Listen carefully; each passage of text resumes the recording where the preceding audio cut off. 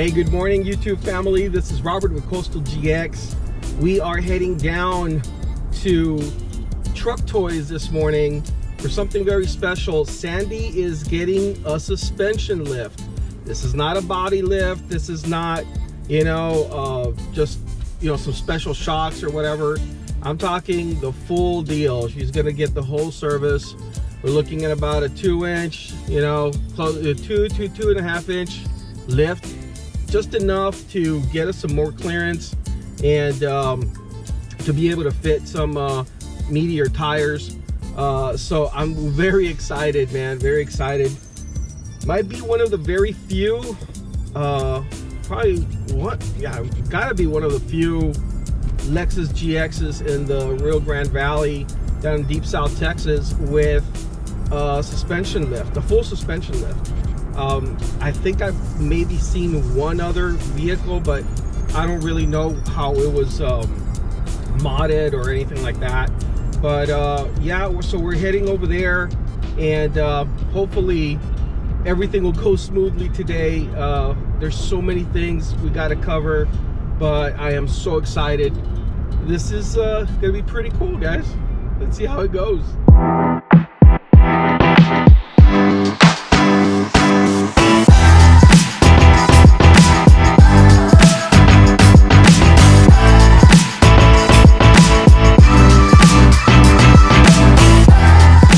Guys, so Truck Toyz already started working on Sandy. And uh, what I want to say is, I guess the reason, my whole goal was to, to do this. My goal was to do this with my son at home. Uh, Ironman put up this awesome video, a tutorial video, and I leave the link in the description so you can go ahead and take a look for yourself. I have all the tools, I had everything, at least I thought. My wife had a very good conversation with me. I, I, I seem to get into stuff sometimes and you know, I think she was right this time around. So um, I went ahead, instead of doing it myself, doing it with my son, I decided to go ahead and uh, leave it to the experts. I feel a lot more comfortable bringing it here. I just didn't know if there was a shop or how to go about doing it. But so far, so good. These guys have been very friendly. They've reassured me and uh, I feel very comfortable here. Uh, they already started working on Sandy and uh, I don't know, man. I, I can't wait to see the results. Let me break it down for you while the crew works on Sandy. Here is a quick and honest list of reasons as to why I wanted a suspension lift, tires, and wheels on my 2012 Lexus GX460. Number one, the lifted setup looks badass. Just kidding, but it's sort of true, and anyone saying otherwise is a straight up liar. Number two, a suspension lift provides much needed clearance.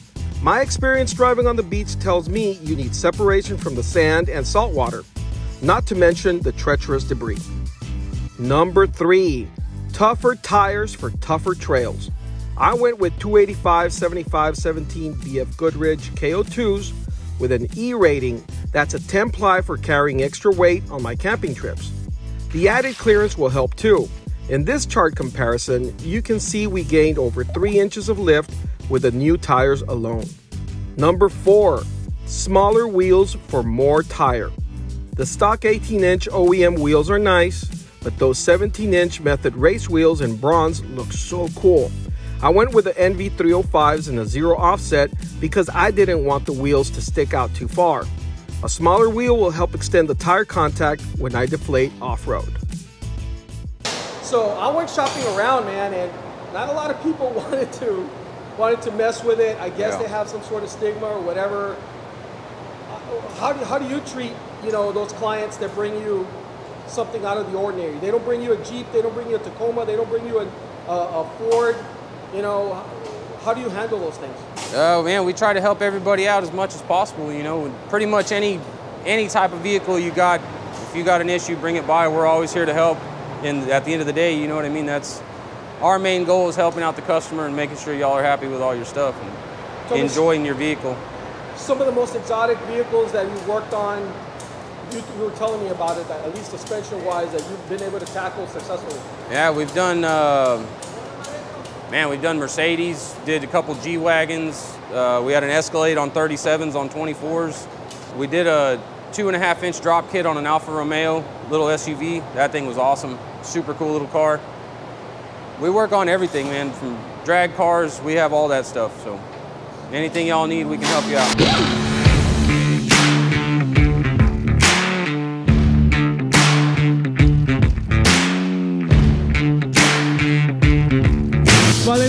Wish I could have gotten that. Oh my God. That's not right, Valentin.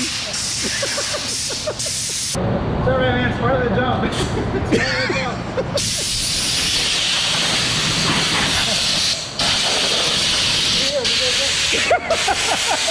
Okay,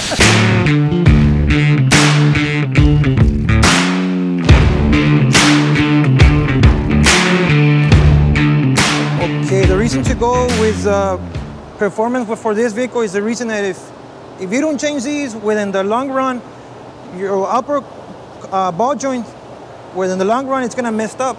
So what you're gonna spend for the whole upper control arm, you might as well just spend on the upper control arm that comes with your kit. Once you change these, it's from the from the kit, it's gonna give you a better ride, a better suspension. It's gonna ride a lot smoother.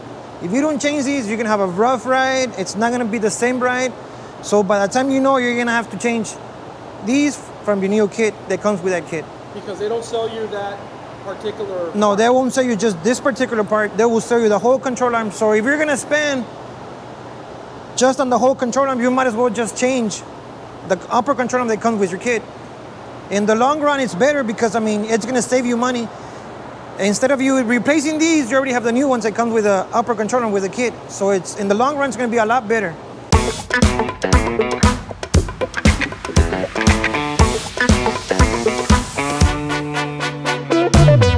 Okay guys, at this point, the suspension lift has been installed.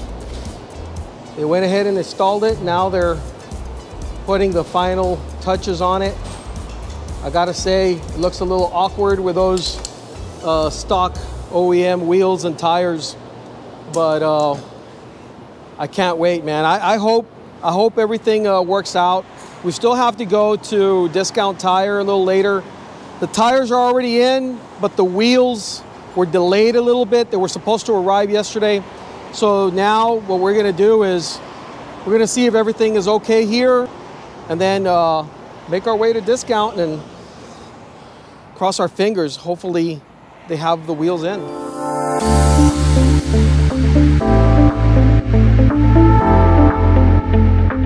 Right now I'm driving and it feels fine. Of course, it's got the the regular uh, you know original wheels and tires on it right now and uh, but I don't feel a difference or anything like that. The wheel is driving straight. I don't I don't see anything wacky or I don't hear any noises. There's nothing weird going on. I do feel like the vehicle is riding a lot higher. Obviously, it did get a suspension lift, but uh, you know, other than that, I feel no difference driving the vehicle right now. So I am so excited uh, about how it's going to ride a little later on.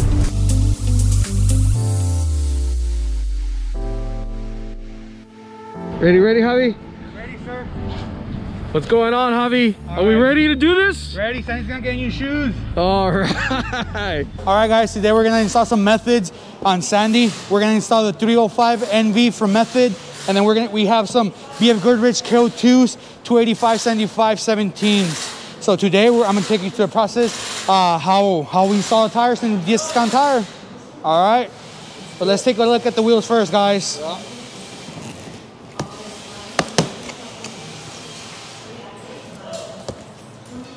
Here's a look cool little sticker, guys, right here from Method. Method always has the best packaging out there.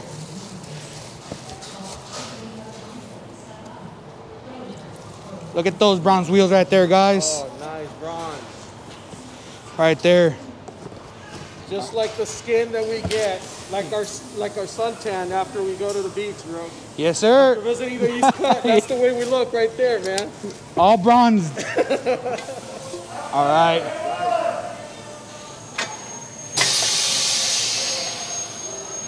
Course, we're getting new sensors as well, guys. So Sandy's not getting only wheels and tires, but new sensors, all the hardware. What's so important about the sensors and getting all this new stuff, man? So these sensors are very important, especially because when you're out there and you're, you don't deflate your tires, you poke a tire out there in the trails or wherever you are, it's gonna advise you real quick if you have a low tire pressure. And it's very important to go look around your vehicle. If that light is on, just because it's not, it's gonna let you know they have a low tire pressure and you're not gonna damage your tire. You're gonna catch that in time. Right here, I'm just torquing the, the sensor, the grommet, to the correct torque spec, so that way we don't get any leakage uh, in the valve stem. Perfect. Right here, I'm just measuring, so that way we don't scratch the wheel. I'm just measuring, so that way, this is called a duck head, guys, so that way it doesn't scratch the wheel. We don't come close to it. We just get as close as close as possible, so that way we don't hit anything and scratch and damage any wheels and then we just start it and there we go making sure we go to the correct side which is the DOT out always guys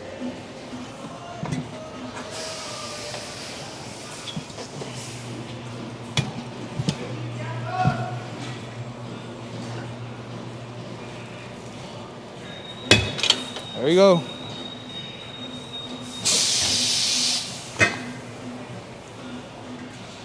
right now. Just be careful if you're in, if you're wearing your earphones because you're gonna hear a loud blast.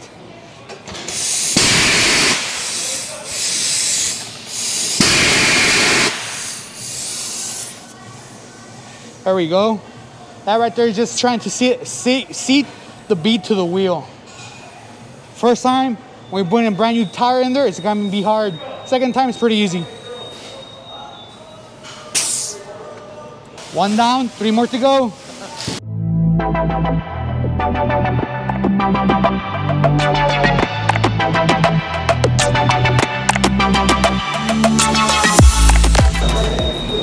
I mean, why is it so important to put a, a valve cover on it? A lot of people just leave it out, but when you go off-roading, it's important, right? Yes, it is.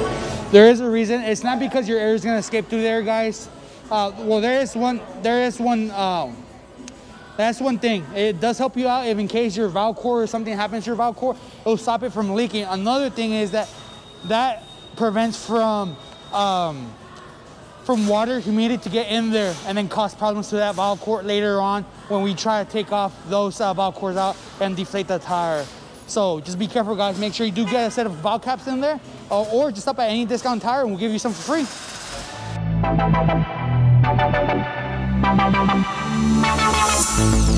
Got the wheels, got the tires. Man, what a friendly staff over here. This is the Discount Tire located uh, in Edinburg, the corner of uh, McColl and Trenton. And uh, just so happened, I, I really lucked out.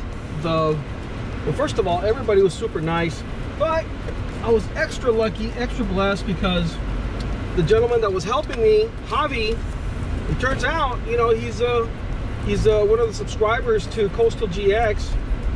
He drives a sweet, sweet Tacoma. He is an enthusiast, and he gets out there as much as he can.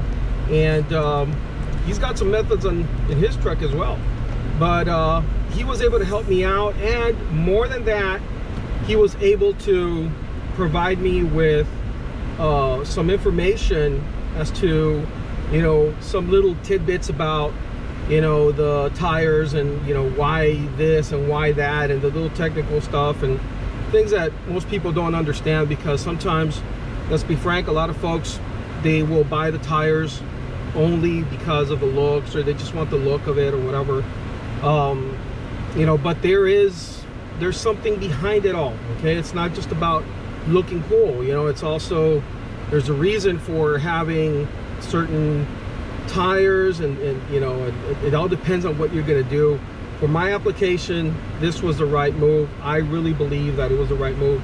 So now what we're going to do is we're going to head back head back to uh, truck toyz justin and the gang and uh, see if we can fit these in fit these on and uh, let's see how bad the rubbing is going to be it's got a zero offset i mean i went very conservative with it it's pushing more like your 34 34 uh, inch tire um, at the end, so it's a little on the on the larger end, but it's gonna be a thinner, a thinner uh, tire, not as wide, you know. So I don't know. I, I Javi thinks it's gonna be okay. If anything, it's just gonna be a little bit here and there, but we're gonna find out.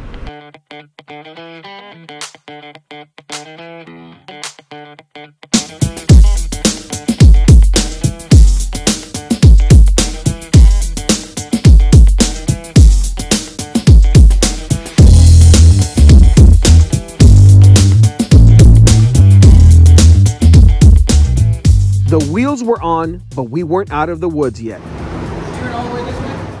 There was some major rubbing going on, so Justin identified some key spots that needed to get chopped.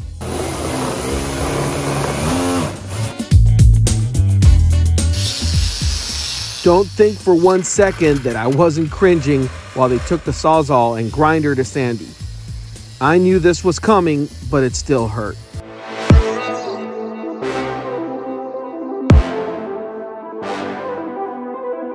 After a body mount chop and some trimming, it was time to get Sandy aligned.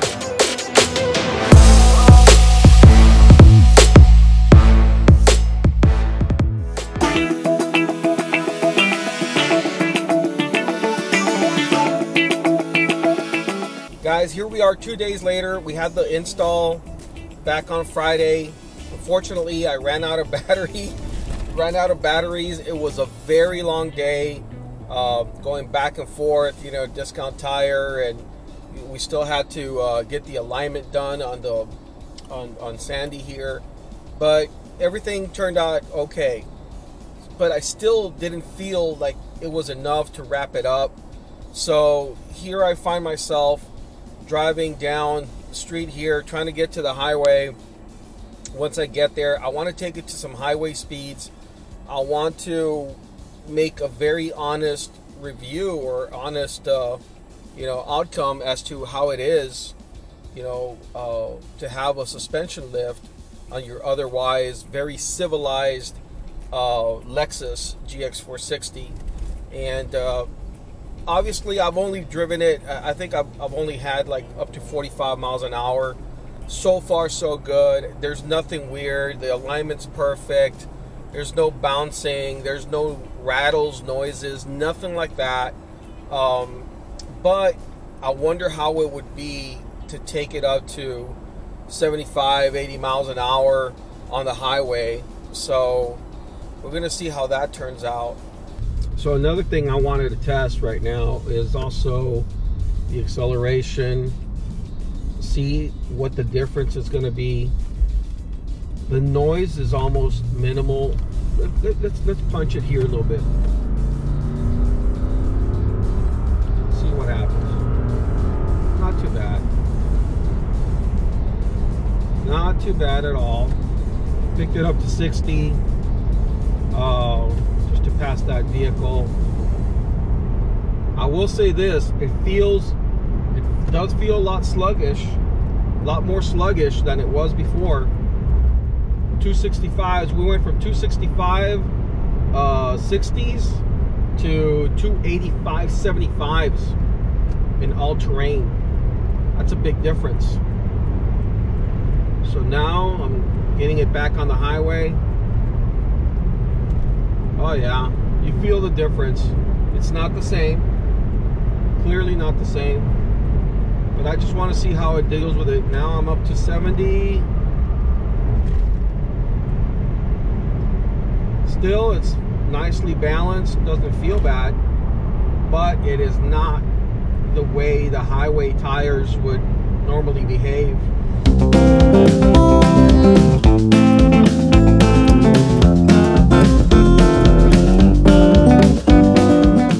So guys I found myself a little gravel road here and uh, I can tell you it is and it is super smooth I mean, I've taken these before with a prior um, with a prior uh, set of wheels that I had, and of course, there's nothing to it. There's a little bit of a washboard type of uh, uh, uh you know surface to this particular dirt road, and uh, man, it feels so smooth.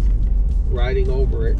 Yeah, I guess you could say. I mean, why they're off-road wheels, right? I mean, that's why they're all. It's an off-road suspension. It's unfortunate though that I don't have any a place to you know use the articulation to see if there's any rubbing. You know, I mean, we already tried to test, you know, to see that if there was any rubbing, and they eliminated that.